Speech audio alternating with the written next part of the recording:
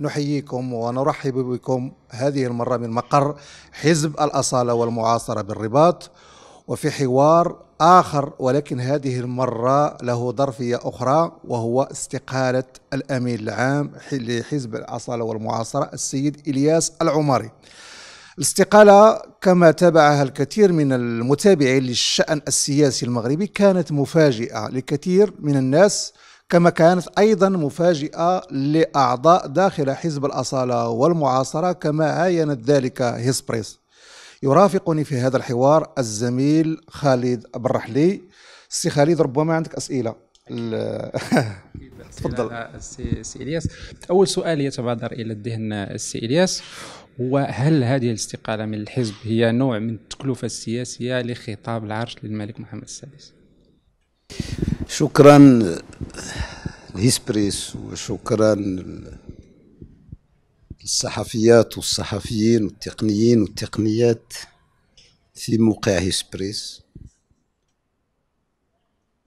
الحقيقة سي خالد ربما كان كيتقال في المثل الشعبي خير صدفة خير من ألف ميعاد. رب صدفة خير من ألف ميعاد.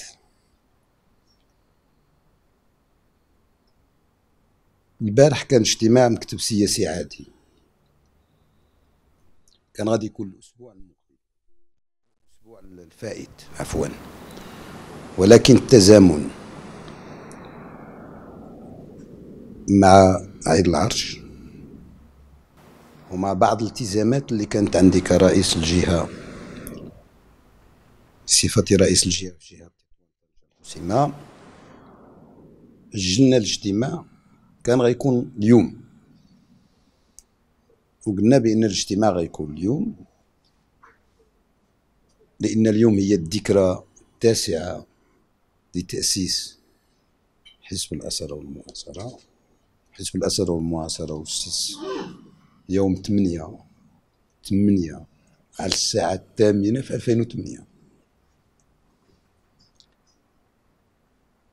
ولكن الإخوان في البرلمان رئيس الفريقين طلبوا لنا باش ما إما نأخروه بالنهار ما إما نقدموه بالنهار لأن اليوم كاين اختتام ديال البرلمان وغيتعطلوا لأن كاين جلسة الأسئلة الشفوية جلستين تشريعيتين ومن بعد الجلسة الختامية فقررنا بأن يكون الاجتماع البارح. كنحكي لكم الصدق يعني. والاجتماع كانت فيه ثلاثة النقط جدول العام. النقطة الأولى هو تقرير على واحد لجنة التقييم. بعد تسعة سنوات من تأسيس حزب الأصالة والمعاصرة وعشرة سنوات من الحركة أين وصلنا؟ ماذا أنجزنا؟ فين خفقنا؟ كاين تقرير غيقدموه غيقدموا رئيس الهيئة الوطنية للمنتخبين إضافة لتقرير ديال رئيس الفريقين حول الأداء والالتزامات. وكاين تقرير غتقدموا للجنة المكلفة بالسهر على تنظيم المؤتمرات الجهوية.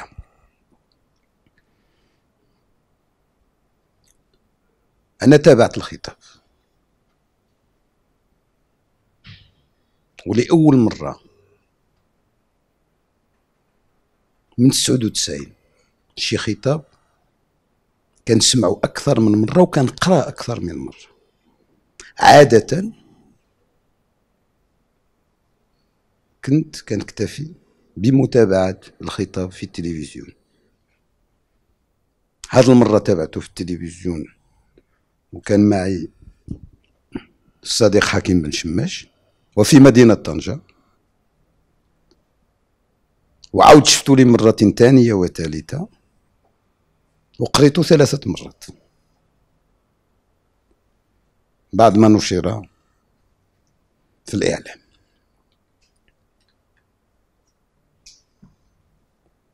وسكت. وراقب المشهد رد الفعل اللي ممكن يكون من النخب السياسية وغير السياسية. تصدمت. تصدمت. تصدمت في النخب السياسية. يا ريت إلا كانوا سكتوا. كلهم هضروا. وكلهم أشادوا بالخطاب. والنقطة. تصدمت بالنخب الإدارية. سكتوا. كأن غير معني وبديت كنتساءل مع راسي.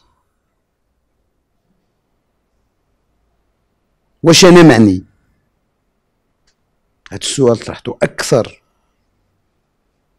من عشر المرات على راسي. كل مرة أقول سياسيا معني. ربما ما معنيش عمليا. الحزب ديالنا ما سيرش ما عينش الموظفين.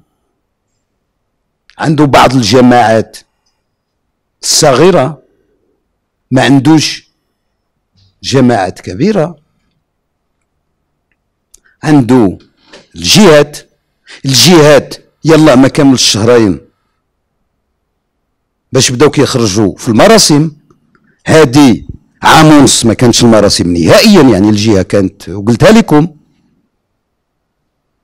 يعني مداد في الورقه مازال إلى حدود الساعة اللي كنتذكر معكم. التبويب ديال الميزانيه مازال ما خرجش. يعني اليوم اليوم اللي كنهضر معكم التبويب ديال الميزانيه المرسوم ديال التبويب اللي خص يصدق عليه السيد وزير المالية والسيد وزير الداخلية يثني السيد وزير المالية والسيد وزير الداخلية. مازال ما كاينش. اذا ما ممكنش. يعني ما معنيش من الناحية العملية كحزب لكن من الناحيه السياسية لقيت راسي معني. ولكن كيف؟ كنقلب على الصيغة. غادي نجي وغادي نقول نمشي بحالي؟ غيقولوا لي الناس علاش؟ اش درتي؟ غادي نقول لهم هكذا بغيت نتحمل المسؤولية؟ لماذا؟ اذا جيت البارح للاجتماع. وأنا داخلي قرارين متناقضين. خص نديروا شي حاجة. ولكن ماشي حنا. منين وصلت جلست كنسمع ويحكيو لكم الإخوان؟ ما هدرتش. افتتحت بدين كنسمعوا الآراء ديال الإخوان. رغم الصيف كان حضور 23 على 25 ولا 26 واحد من أعضاء المكتب السياسي.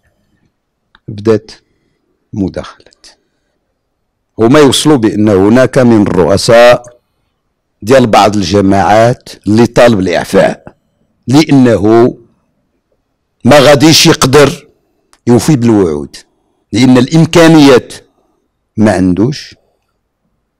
الاحتياجات والوعود اللي عطى التكلفة ديالها أكثر بكثير من الإمكانيات والحكومة ما بغاتش تجاوب بشكل إيجابي مع حتى هي كتقول ما عنديش الإمكانيات. وكتعرفوا الجماعات كتعيش على التحويلات اللي كتعطيها الحكومة. تماك بعض الرؤساء اللي التقييم اللي دار التقرير اللي جابوا الإخوان خصهم نقيلوهم من الحزب. ماشي ما عندناش الحق نقيلوهم من الرئاسة. نقيلوهم من الحزب لأن ما إما ما التزموش بمدونة السلوك أو بميثاق الشرف. كما أن تماك بعض البرلمانيات والبرلمانيين ما كيحضروش في الجلسات العامة وفي اللجان بدون مبرر. اللي كانوا موضوع مراسلة أكثر من مرة لا من طرف رئاسة المجلسين ولا من طرف الحزب لا من طرف رئاسة الفريق. وهذا خص يتخذ في حقهم قرارات وقالوا خصنا نتخذوها في هذا الأسبوع. كنشوف في راسي كيف لإلياس الذي أشار باش هاد الناس يتحملوا مسؤولية لأن باش ترشح الرئاسة ولا البرلمان خص الأمين العام أو من ينوب عنه إلى فوضى. هو اللي غادي يدير كيفاش أنا جبت هذا السيد؟ علاش جبته؟ علاش وافقت عليه؟ اذا أتحمل المسؤولية ديال الاختيار. كيفاش اليوم غيتحاسب بوحده إلا غيمشي نمشي مع الثاني وأنا الأول. ها علاش كان هذاك الصدفة؟ منين نكملوا؟ قلت لهم لا راكم غلطتوا. راه كاين واحد الحلقة المفقوده كما كيقول داروين. في هادشي شكون هي الحلقة المفقوده قلت لهم هو أنا. في خذيت القرار. اللي تبعتوه إذا تحملت التكلفة ديال آه، يعني نقدروا نقولوا فشل آه، نموذج آه، الأحزاب السياسية في المغرب فشلت في خلق نموذج سياسي. إلا كان الملك كيعترف بأن هو في نفسه ما كيتيقش في الأحزاب السياسية. إلا كان المواطن كذلك فقد الثقة بشكل كبير في الأحزاب السياسية. إلا كنتم أنتم آمين عام ديال أكبر حزب في المعارضة كتقدموا استقالتكم لأن هناك صعوبة في التدبير لا من على المستوى ديال الجماعات اللي أنتم كترأسوها لا لا لا في الجهة اللي أنتم كذلك كترأسوها لا في المشهد السياسي ككل. ما بقاتش واحد الثقة. واش هذا كيعني بأن هناك فشل للنموذج السياسي للأحزاب السياسية ونرجعوا نأكدوا بأن ما يقال عنكم كأحزاب سياسية أنكم دكاكين سياسية فقط. ماشي أحزاب سياسية عندها نموذج وعندها رؤية لا على المستوى السياسي على المستوى الاجتماعي هذه حقيقة. السي خالد الفشل ماشي وليد اليوم. هذا الوضع اللي وصل ليه العمل السياسي في المغرب ماشي وليد هذه اللحظة. هذا من الصراع اللي كان مباشرة بعد الاستقلال. ما بين جوج الاختيارات اختيار الحزب الواحد الاختيار ديال التعددية. أنا ذاك هذاك الصراع انهيناه دمويا. انهينا بمعتقلات سرية انهينا بتصفيه جسدية. من ذاك الحين بلادنا ما قدرش دير الاختيار. بقات ما بين عقلية الحزب الواحد والعقلية ديال التعددية كما هي متعارف عليها عالميا. هاد جوج عقليات اش عطاو؟ في الصراع. عطاو التعثر الستينات كانت ممنوع السياسة.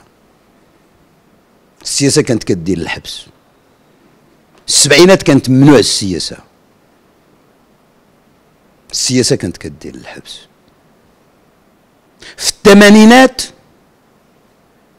ما ممكنش تاخذ مسؤولية إلا كنتي كدير السياسة. باش تكون سفير تكون مدير تكون رئيس قسم تكون مسؤول إداري خصك تكون ضد السياسة والسياسيين. كان واحد التشجيع العزوف خطير. ما يقابله تزوير الإرادة. الناس كيقولوا لهم ما ديروش السياسة باش تكون مدير وملي كنجيو الانتخابات كنلقاو 99% جينا من ذاك الوقت. فهاد 17 سنه الأخيرة كانت إرادة ديال تحرير العقليات والمشهد من هذا الشيء. لكن مع كامل الأسف الحاجة الوحيدة اللي ما درناش فيها لا ميزانيفو التأهيل درنا التأهيل المفهوم الجديد للسلطة. درنا ولو درنا قانون الأحزاب وبدلناه ولكن بقى المشهد يعيش على نتائج الماضي. يعيش على نتائج الماضي. على الصراع على الزعامة. ولا الحزب ما بقاش مؤسسة جماعية ولات مؤسسة فردية. النقاش ما كانش في السابق كما في السابق حول المشروع حول الشخص اللي غيتولى القيادة.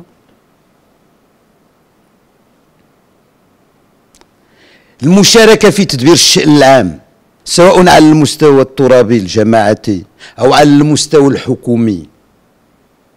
خضع للرغبة للعلاقة. أكثر منه كيتخضع للمصلحة وللمشروع. إذا كتلقى تحالفات وحتى إحنا جزء منها. ما كاين تقاسيم مشترك في البرنامج. ديالها لا التدبيري اليومي ولا الاستراتيجي. النخب السياسية وداير جات في الخطاب. منين كتكون مزيانة ديالهم؟ منين كتكون خايبة ديال شي حد آخر؟ لم نشاهد رغم أنه في السابق على الأقل كاين شوية لم نشاهد في النخب السياسية شي حد اللي كيقول أنا كان عندي مشروع وفشلت فيه؟ أنتم كتشوفوا؟ ما نمشيوش بعيد. هاد خمس سنين ديال الحكومة السابقة حتى واحد ما خرج في هذه الحكومة من جميع الناس اللي مشاركين فيها وقال يا ودي راه داك الشيء اللي وعدنا به ما قدرناش نديروه. فشلنا ها علاش؟ لا بالعكس مازال كيعتبروا راسهم نجحوا. هي بلاد مرهونة واحد رهن البلاد كلها وكيعتبر راسو ناجح. شتو في البلاد اللي كيرهن الأرض؟ يعني كيعتبر راسو ملك؟ لا. هذا الشيء كامل هو اللي عطانا هذه النتيجة. اذا الخطاب ديال جلاله الملك ما فيش غير الأحزاب. فيه الأحزاب فيه الإدارة. تكلمت على الستينات والسبعينات وإلياس العماري كما نعلم أنه يساري وتشبع بهذه الأفكار هذه ديال الستينات وديال وديال, السبعينات. واش كيبان بأن إلياس العماري هنا السخط ديالو واليأس ديالو ماشي من حزب اللي اسمه حزب الاصل والمعاصرة هو الذي يتربع على عرشه وعنده الناس كيبغيوه داخل الحزب وكيثيقوا فيه. هذه هذه مسألة واضحة. هل يمكن أن نقول بأن إلياس العماري ربما أنه دار واحد واحد المراجعات ولقى بأن اللعبة السياسية اللي غادا فيها البلاد بأنها ما يمكن لها إلا توصلنا للحائط أه السي نور الدين ماشي هكا. أنا طبعا أه تربيت أه فكريا في صفوف الحركة اليسارية وأنا معتز بهذه التربية. تربيت اخلاقيا في عائلتي الصغيره مع أمي مع با مع خوتي مع جدي مع قبيلتي. وأنا معتز بهذه التربية. أنا آه، ابن الثمانينات ولكن آه، فخور بالتضحيات وبالعطاءات اللي دار اليسار في الستينيات والسبعينيات من القرن الماضي. وكان بالنسبة لي وما زال فلولا هذيك التضحيات اللي كانت دارت ما يكونش هذا المغرب اللي كنعيشو اليوم. كان ربما غادي نكونوا بحال بعض البلدان الأخرى بلا ما نسميها. ف نعم إلا ما قلتكش لا أعيش يوميا على هذا التاريخ نكون كنكذب عليك. أنت كتعرفها. أعيش على هذا التاريخ فخور بهذا التاريخ. من الناحية الفكرية. دابا من الناحية السياسية أنا مازال مقتنع إلى حدود الساعة بأنني كنتسب لواحد المشروع امتداد أو جزء منه امتداد للمشروع الكبير. كننتسب له غادي نبقى منتسب له وغادي نستمر فيه. اليوم البام حزب كباقي الأحزاب. حتى هو كيعيش على وقع آه، تخبطات حتى هو آه، كيشتغل باش يقلب يلقى لوتوغوت كجميع الأحزاب لأن إحنا حزب ماشي ديني. ملي كيكون حزب ديني وي لأن كتكون عنده عقيدة. إحنا ما عندناش عقيدة. ما عندناش عقيدة. إحنا عندنا مشروع. عندنا مواقف. هذا المشروع وهذه المواقف تتغير وفق التغير اللي كيوقع في الواقع اللي عنده عقيدة لا. عنده عقيدة لا تتغير كيقلب على تكتيك كيغير الخطة لي تتويج أو لي فرض العقيدة ديالو. حنا لا. حنا لا. عندنا وطن بغيناه يكون مزيان. بغينا تكون فيه الديمقراطية أكثر من هذا الشيء. بغينا تكون فيه العدالة الاجتماعية. طبعا منين جيت الشطر ديالك الثاني في السؤال؟ حنا في الانتخابات وقبل الانتخابات قلنا البلاد غادي الحيط قلنا البلاد غادي الحيط قلنا أي واحد طلع خصو يباشر الإجراءات في 100 يوم الأولانية باش يوقف النزيف. 100 يوم الأولانية. وماشي غير حنا. جميع الأحزاب السياسية اللي كانت في انتخابات كلها قالت نفس الشيء. كلها قالت نفس الشيء. كلها قالت بأن خصها دير نسبة النمو خمسة خمسة ونص في المية كله. فايد بيه إيش وقع بعد انتخابات ماشي ثلاث شهور الأولانية درنا إجراءات عسنا ست شهور بدون حكومة. بدون حكومة. والي بنك المغرب ذاك النهار كيقدم التقرير ديالو ما وصلناش لواحد فاصلة أربعة في المية. إلى إلى سمحت يا سي إلياس بمعنى هذه الاستقاليه احتجاج. ماشي شكل من الاحتجاج وربما تقرا شكل من أشكال الاحتجاج. احتجاج ماشي ماشي على المشهد الداخلي ديال الحزب كما قدمت في في في, في الندوة الصحفية قبل قليل. وإنما حتى على المشهد السياسي برمته. ما أفهم من كلامك هذا؟ أنا ماشي غير على الوضع السياسي المتأزم. لأن الوضع السياسي المتأزم ما مفصولش على الوضع الاجتماعي. ما مفصولش على الوضع الاقتصادي. واللي كيدير فصل هذا فصل تاع السوفي. كما قلتك أنا تربيت على واحد الفكر. هاد المستويات مجموعين ثلاثة بهم. اللي كيتذكر على عزل المستوى السياسي على المستوى الاقتصادي والاجتماعي ولا عزل المستوى الاقتصادي على المستويات الأخرى هذاك عنده شي مشروع آخر. ما عندوش مشروع بناء وطن. عندوش شي مشروع آخر. كاين أزمة اقتصادية. هذه الأزمة الاقتصادية هي اللي كتخرج الناس. الازمه الاجتماعية اللي كتخرج الناس كتغوت في الشارع وهنا فين الأحزاب كتلعب دور؟ في تأطير وتوجيه هاد الناس سواء اللي خرجوا ولا اللي ما خرجوش. ألور في الحالة ديالنا هنايا ما كاينش هادشي اليوم جميع الأحزاب السياسية اللي كتشارك في العملية الانتخابية هذا الواقع كيقولها يلا كتحصل على 6 المليون ديال الأصوات من 28 مليون. عندنا الثلثين في هذه البلاد ديال الساكنة الشباب.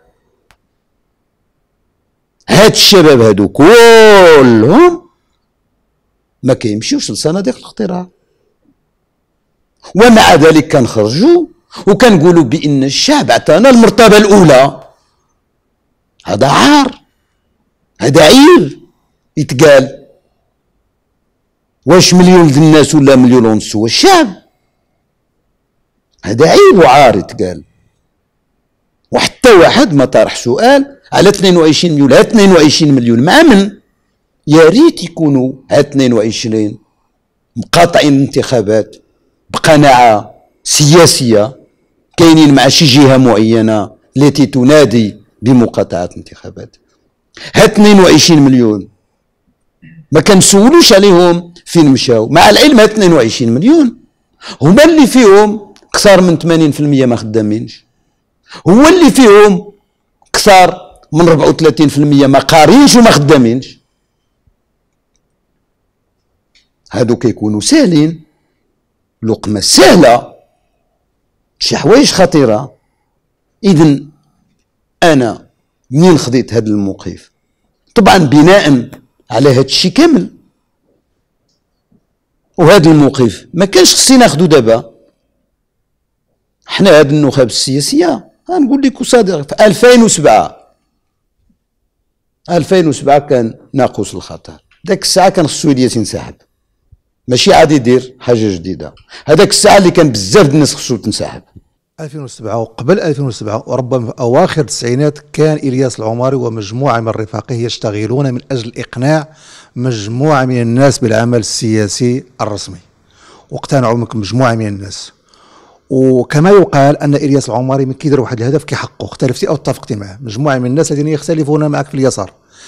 وصلتي هذه التجربة هذه وكان ثاني حزب في, ألو... في بالمغرب. في المعارضة عنده ما يربو عن 100 مقعد في البرلمان عنده فريق برلماني عنده عنده عنده قطاعات داخل الحزب أو أو تنظيمات موازية. الآن كتجي في هذه الفترة السي إلياس وخليني نقولها لك بكل صراحة كنا نتحدث عن خذلان المثقف وخيانته. واش ما يمكنناش نتكلموا على خيانة وخذلان السياسي إلياس العماري في هذه المرحلة هذه في هذه المرحلة هذه الناس باغينك وقنعتيهم مجموعة من الأفكار ومشوا معك الآن والآن أن أنك نقصتي من السفينة وخليتي سي نور الدين ما نقصش من السفينة. وماشي من طبيعتي كنقص من السفينة. وبالخصوص إلا كانوا فيه الناس. وأنت كتعرفني كما كيعرفوني. أنا آخر واحد كنخرج من السفينة. ولا كنغرق معها باش يطمئن الجميع. أنا زيدون. كنقول على رأسي من 84 هنا عايش غير في الفضل. لأن كان يجب يكون متعيد في 84 بشي قرطاسة من ذاك القرطاسات غير غير بشوية. غير بشوية هذا القرار ديال دابا ومن خلال إسبريس بغيت نطمئن جميع المناضلات والمناضلين. اللي عرفوا إلياس قبل أمين عام. اللي عرفوا إلياس قبل نائب الأمين العام. اللي عرفوا إلياس قبل رئيس اللجنه الوطنيه للانتخابات. هادوك اللي عرفوني. كنقول لهم إلياس اللي عرفته هو اللي باقي. وهادوك اللي ما عرفونيش كنتمنى ليهم يسولوا اللي عرفوني. إلياس سيبقى إلياس بالله هذا المشروع سأنتصر له. وسأشتغل من أجله. واهم اللي صحاب له غادي نخرج منه. ولا غادي نتبنى شي مشروع آخر. والانتصار للمشروع ماشي بالضرورة في قيادته. وأنا تعلمت هكذا. تعلمت كننتصر الأمور اللي مقتنع بها في جميع المواقع وفي جميع الأماكن. سأنتصر لهذا المشروع. سأشتغل من أجل انتصار هذا المشروع. وإلا كاين شي واحد البارح فرح قال راه حيدت الياس من بلاصتي. من هذوك اللي الفوق ولا الوسط ولا لتحت راه واهم راه واهم أنا ما ضد حد. ولكن أنا مع المشروع اللي من أجله ولدت سيريا أنت مع المشروع ولكنك أنت قيادي في الأمانة العامة. علاش ما تخليش حتى تسالي هذه الفترة؟ هذه وتقدم استقالة ويكون التقييم بشكل عام. اذا اذا واش اللحظة؟ أنت قبلت قلتي أن اللحظة ما هذا غير مرتبط بلحظه ولا تؤمنوا بالأفكار المؤامراتيه سواء من الداخل أو من الخارج؟ ولكن علاش ما خلاتيش حتى سالات الفترة ديالك لا مازال شوف السي المواقف السياسيه زي ما كان هي وكنقولها. تتغير وفق التغير والتطور اللي كيحدث في الواقع. ما فيش خلي وما فيش دير قبل. اللحظة التاريخية ما إما تلتقطها ما إما فاتك ترين. أنا في تقديري الشخصي يمكن نكون خاطئ. كنقولش أنا أنا إنسان في تقديري الشخصي هذه هي اللحظة التاريخية. تقدير ديال زملاء ومتتبعين وصحفيين بحالك يمكن ماشي هي اللحظة. ولكن كيف أنا كنعيش التنظيم من الداخل؟ كيف كنعيش المشهد السياسي وأنا جزء منه؟ كيف كنتفاعل مع الهموم والآلام والأمال سواء ديال المناضلين في الحزب ولا ديال عامة المواطنين والمواطنات؟ كتبان أن هذه الخطوة ستساهم في تطوير الحزب. ما كنقولش تطوير المشهد السياسي في تطوير الحزب. ما بغيت نعطي درس لحد ما كنقولش شي آمين آم تبعني. بالعكس كنتمنى لهم التوفيق ويصبروا اللي دار ولايتين يجي ثلاثة وأربعة إلا بغا. اللي بغا يزيد تا خمسة ستة من حقهم. طيب سي إلياس لو أعدت صياغة السؤال بطريقة أخرى آه، في تاريخ الحزب ديال الأسرى والمعاصرة منذ التأسيس ديالو كانت جوج ديال الاستقالات اللي هي استقالات يمكن لها ما بعدها. استقالات ديال فؤاد علي الهمة من بعد ولا مستشار ديال ديال الملك.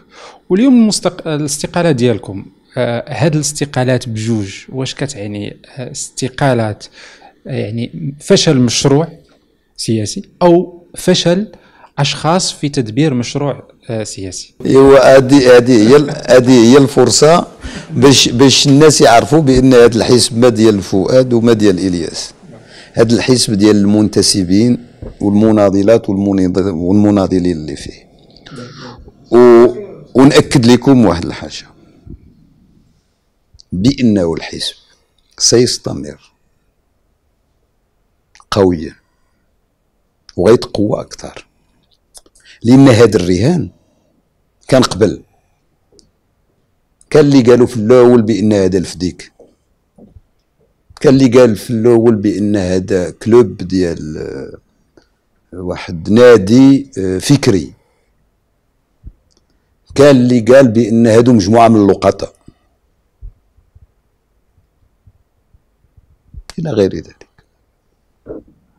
كان اللي قال بأن النهاية ديالو ما ممكنش تفوت أربع سنوات. لأن المشهد السياسي المغربي كما ولفوه هاد النخاب.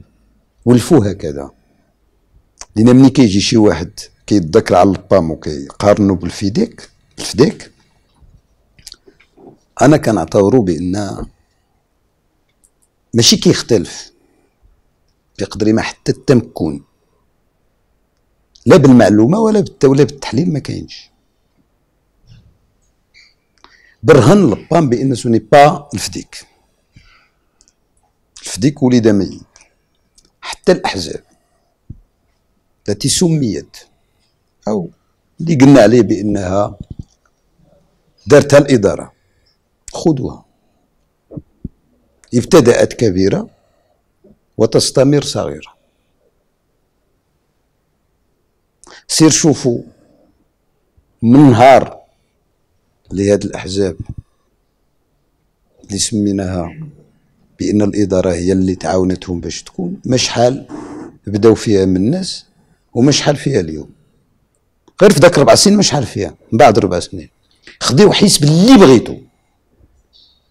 خذوا التجربة البا. اللي قالوا غتكمل دار في 2008 قال له غيكمل في انتخابات 2009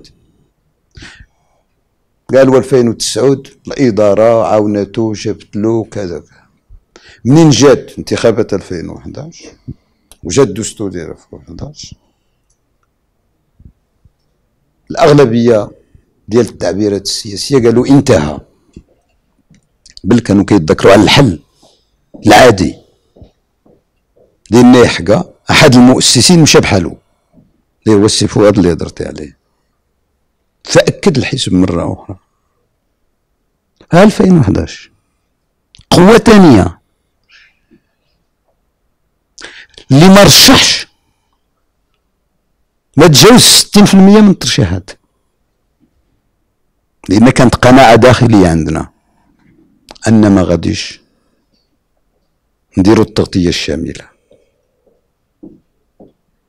وكنا قوه ثانية من ناحية الأصوات. لأن علاش كتحسب اللائحة الوطنية؟ لأن كانت وطنية. مشى؟ السي فؤاد قالوا بأن هذه غير مرحلة سينتهي. نشوفوا الانتخابات الجماعية. جات انتخابات الجماعية. المرتبة الأولى. من عدد المستشارين والثانية في عدد الأصوات. زدنا أكثر من الأصوات اللي كانت عندنا في 2015 في 2011 وأكثر مستشارين اللي كانوا عندنا في 2015 في 2009 إذا حسب غادي في التاريخ التصاعدي. في انتخابات ديال 2016 نفس الشيء. في الأول قالوا انتهى مع شخص منين؟ الشخص والحزب لم ينتهي. قالوا بقى واحد. شخص آخر. هذاك الشخص آخر مشى هو أنا. أنا كنت مشيت ما بعد المؤتمر. واستمر الحزب قويا مع السي مصطفى البكوري. بالعكس. توسع تنظيميا. توسع في عدد المنخرطين. من جينا نديرو الانتخاب؟ مؤتمر. ديال 2012 كانت أزيد من 123 ألف منخرط اللي اداو البطاقة إذا هذا حزب في التصاعد. وكنقول للناس اللي كيتوهموا بأن هذا حزب أفراد. يراجعوا التفكير ديالهم. يمكن الحزب ارتكب أخطاء في الولادة. اللي كان فيه في جميع الحالات كنا اختلفنا.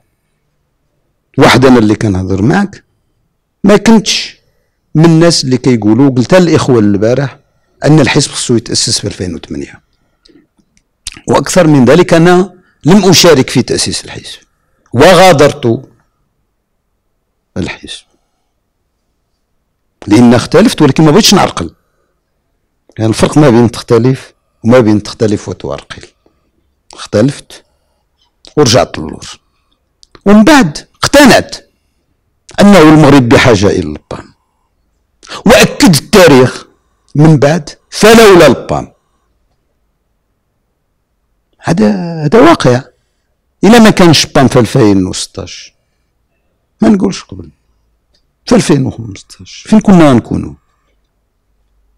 أنا هنا كنتذكر مع المتتبع. السياسي اللي محايد ماشي اللي عنده انتماء.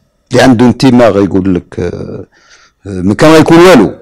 لأن كان غيكون هو. ولكن اللي محايد لا. هذا ماشي حسب أشخاص. طبعا الأشخاص عندهم الدور ديالهم ولكن عهد النبوة وقف سيدنا محمد. دابا كنشوفوا شي وحدين بغاو يرجعوها؟ ولكن غالطين.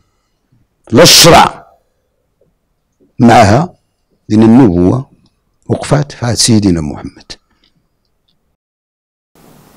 طيب سي الياس آه، آه، الاستقالة ديالكم اليوم غتطرح العديد من الأسئلة. من بينها آه، السؤال ديال أن الولادة الطبيعيه الولادة ديال الحزب كانت غير طبيعية وبالتالي طبيعي أن تكون الاستقالات غير طبيعية. الولادة كانت وأنتم تكلمتوا الآن سي إلياس على بعض الأخطاء في الولاده طبعا. مزيان إلى إلى ذكرنا بعض الأخطاء اللي كتشوفوها أنتم أنا سي خالد والأغلب ديال المغاربة الولادة البيولوجية كانت ولادتهم غير طبيعية. ماشي جميع الأمهات المغربيات كانوا كيولدوا عند gynécologue في السبيطارات الأغلبية ديال الأمهات كيولدوا عند الحبل. والمغاربة ما خرجوش كلهم معوقين. طبعا كلنا إحنا اللي تولدنا عند الحبل فينا شوية ولكن مع الوقت تعالجنا. ولادة ديال البا ما كنقولش غير طبيعية. كالولادات كلها اللي وقعت الأحزاب السياسية كلها. عطيني حزب سياسي في المغرب كانت ولادته طبيعية. واحد في المغرب. من حزب الاستقلال الشورى والاستقلال. اتحاد وطني القوات الشعبية. الحركة الشعبية وطلع معاه.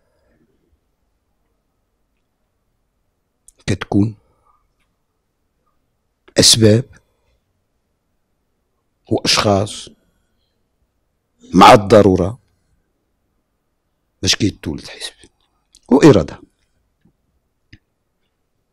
كاين أحزاب تكتملت فيهم الشروط للولادة وكاين أحزاب لم تكتمل فيهم الشروط للولادة أنا كنعتبر البا من الأحزاب ماشي بوحدو من الأحزاب اللي كانت بعض الأخطاء في الولادة ديالو. من حقه يكون لأن هذا حق دستوري. من حق الناس يجتمعوا ويديروا حزب يديروا جمعية يعبروا على رأيهم يختلفوا مع الآخرين. هذا حق دستوري. لكي دار التعددية. ولكن هذا ما كيعنيش بأن هذا الحق الدستوري والطبيعي أن جميع الحركات السياسية اللي تنشأت عادية وإلا أن ما يكونش عندنا 34 حزب و22 مليون ديال المغاربه ما كيصوتوش. هذا اش كيعني؟ ما كيعنيش بام اللي هو غير ماشي غير عادي بوحده كيعني جميع الأحزاب ب 34 في المغرب ولادتها غير طبيعية. ولا بماذا نفسر؟ 22 مليون الناس ما كيديروش فيهم الثقة. بماذا سنفسرها؟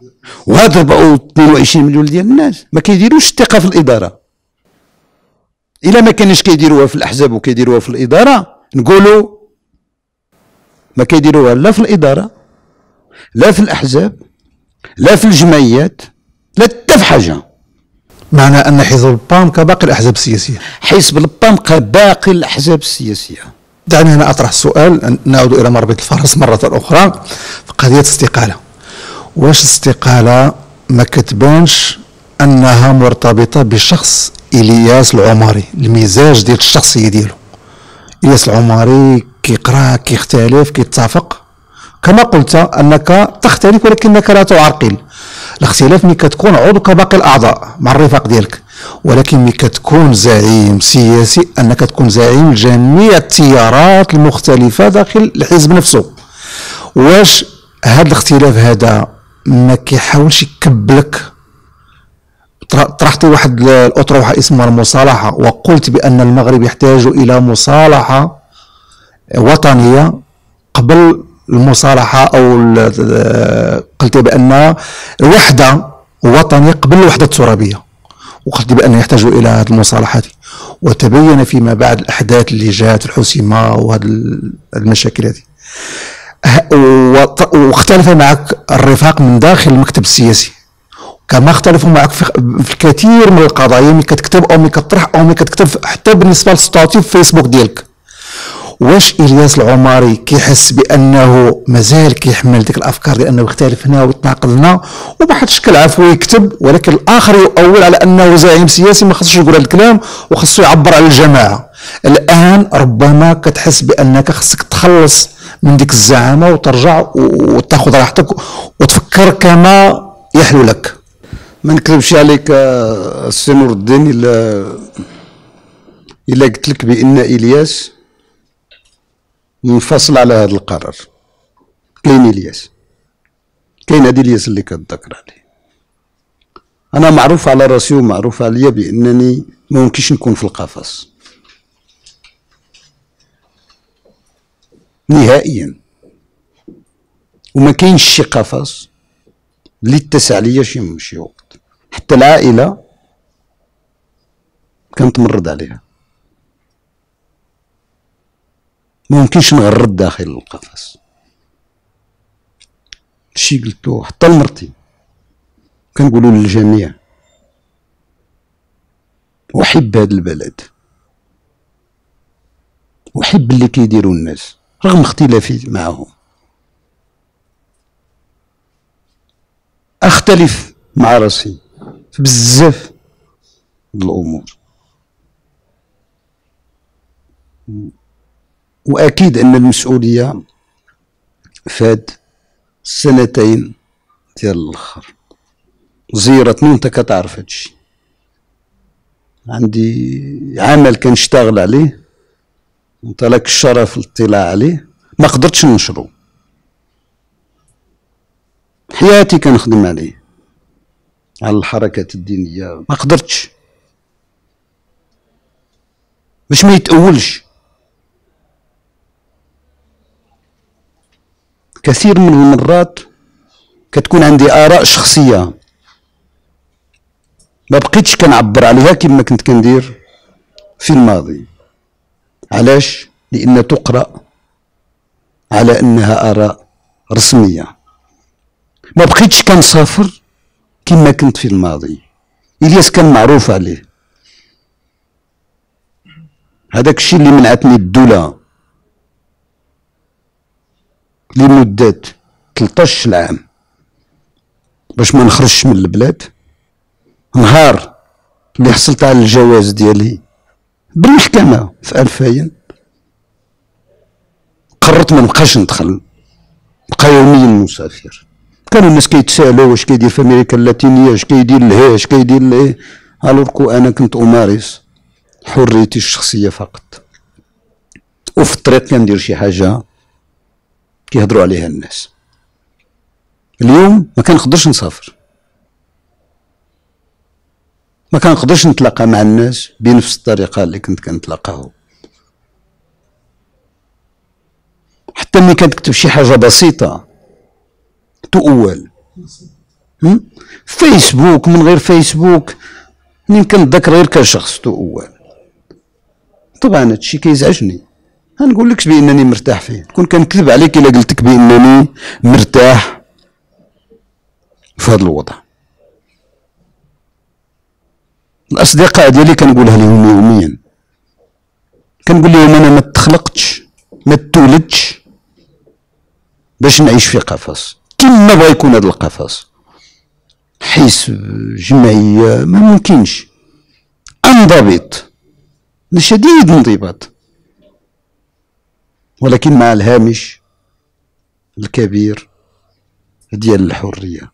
لذلك بزاف د الناس كانوا كيقولوا علاش وراء الستار ما كاين لا وراء الستار ولا ولا لأن المسؤولية تقتضي مني الالتزام. امين عام خصني نكون حاضر في الاجتماعات اسبوعيا.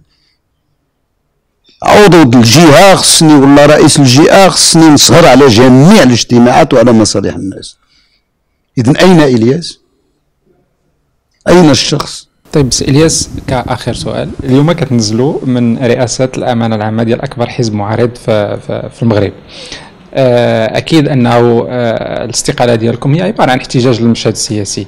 ما هو تقييمكم للمرحلة السؤال السابق خالد يبدو ان الكلام تاعك يائس ابدا ابدا ابدا ابدا ابدا. مقلق ابدا. متشائم. بالعكس أنا ش... لا يا ودي. انت وحدة من هذه. لا متشائل ولا متشائم ولا مقلق ولا يائس. متفائل. جميل. تفضل. طيب ما حتى حاجة من هادو. المشهد السياسي والاجتماعي والاقتصادي. للمرة الألف. كنقولها لا يبشر بخير. إلى الحكم إلى كلنا باش ما نحملش وقلت في التجمعات. بأن الوقت ماشي وقت بني المسؤول. شكون اللي وصلنا لهذا الشيء؟ شكون اللي وصلنا؟ لا. جا وقت آخر نهضروا على هذا الشيء. ماشي الوقت اللي نحملوا مسؤولية لا الإدارة بمختلف مستويات ديالها. ولا المنتخبين ولا الأحزاب السياسية ولا لشي حد آخر. هذه مسؤولية جماعية إحنا على حافة الإفلاس. اقتصاديا واجتماعيا وسياسيا. إحنا عندنا المئات من المقاولات الصغرى والمتوسطة كتسد. وانت عارف هذا الشيء السي خالد. شوفوا غير من الإشهار اللي كاين عند المقاولات الإعلامية وتعرفوا مش من المقاولة كتسد. إحنا أمام قنبلة ماشي موقوتة شعلة ديال التشغيل في صفوف الشباب. مع فوارق اجتماعية خطيرة. إحنا أمام أبسط الأشياء ولات اليوم كترجع وعلى راسها الماء. هادشي ما محتاجش منا الهضرة. واش دارت الحكومة ديال هذا العام ولا ديال ذاك المرة ولا ديال ديال ذاك المرة ولا ذاك المسؤول ولا هذا الحزب ولا هذا المنتخب؟ اليوم كلنا من مواقع ديالنا المختلفة خصنا نكونوا شركاء في الحل. شركاء في الحل. هاد الشركة في الحل إلا كانت يتقدم البلاد إلياس يمشي بحاله يمشي ألف إلياس إلا كان غتقدم بلادنا ولقاو أجوبة إلياس يبقى غيبقى ألف إلياس. دي أساسي. أنا لست متشائما لأن كنعرف القدرة ديال المغاربة في التعامل مع الأزمات. أنا قريت شوية ديال التاريخ. طلعت شوية على التجارب المغربية. المغرب عاش لحظات حرجة في تاريخه. أكثر من هذا الشيء مليون مرة. ولكن بفضل المغاربة ماشي شي حد آخر. بمختلف المكونات ديالهم والتعبيرات ديالهم. استطاعوا باش يجاوبوا عليها. ربما اليوم استقالة ديالي صرخة صغيرة ربما ذاتية اللي بغى يقراها ذاتية ربما سياسية اللي بغى يقراها سياسية ربما مفتاح اللي بغى يقراها مفتاح. ربما رسالة اللي بغى يقراها رسالة. ولكن كنقول للمغاربة ها أنا اليوم مستعد ودرتها عمليا. غنخدم في وسط منكم ماشي فوق منكم غنخدم في وسط منكم. لأي واحد يكون الفوق ما كيهمنيش لونه انتماءه اللي كيهمني اليوم هو واش عنده حل. واللي غيجيب الحل اليوم.